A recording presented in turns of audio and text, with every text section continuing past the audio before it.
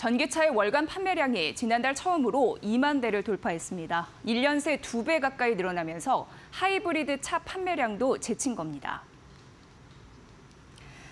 산업통상자원부는 오늘 전기차의 국내 판매량이 2만 485대로 작년 9월과 비교해 2배 가까이 늘었다고 밝혔습니다. 일부 전기 구동을 병행하는 하이브리드 차 판매량도 작년보다 14% 이상 늘었지만 전기차의 인기에는 못 미친 것으로 나타났습니다. 전기차 판매 급증에 힘입어 국내 전체 친환경차 판매량도 같은 기간 36% 이상 늘어난 4만 1,585대를 기록했고 9월 한국산 전기차 수출도 40% 가까이 증가했습니다.